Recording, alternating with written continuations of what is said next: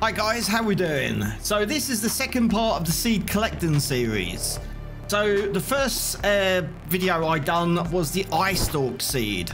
And if you haven't seen that video yet, go and check it out. The link is up above at the moment on top of the screen. So this one is going to be the sea crown seed. Now everyone thinks that the sea crown seed is at the end of the game. We can get it at the start of the game. So this seed location is very easy to find. So we start at the coral reef. So look at the aurora. There's my life pod.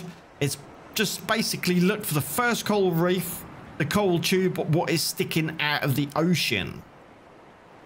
Now, I have got a Seamoth here, so we jump in the Seamoth.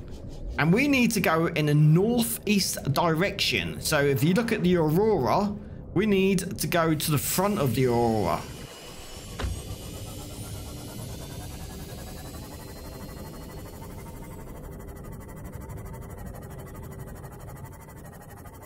And just start heading down. You do not need an upgrade on your Seamoth, but you do need the survival knife.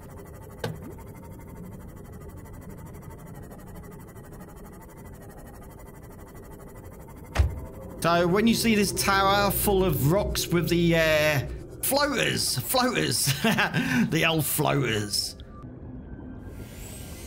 We need to head a little bit further, going northeast you see some more floating rocks and we need to go into this tunnel. So if you look back, we are only 362 meters away from the uh, life pod. So we go down into the hole. Hold on, I've lost the hole. The hole was there a minute. That's there. Go into the hole. And we start heading down. Be careful, you only can go down to 200 meters before you start taking damage. And there they are. So you jump out, you quickly swim down. Passing 200 meters. So grab your survival knife.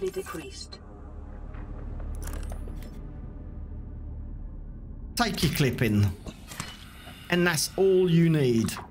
So I do hope you found this video entertaining and if you did, please give it a massive like. It does help me out on YouTube. And if you haven't subscribed to the channel, why not? It is free and you can unsubscribe at any time. So thanks for watching and I will see you in the next video.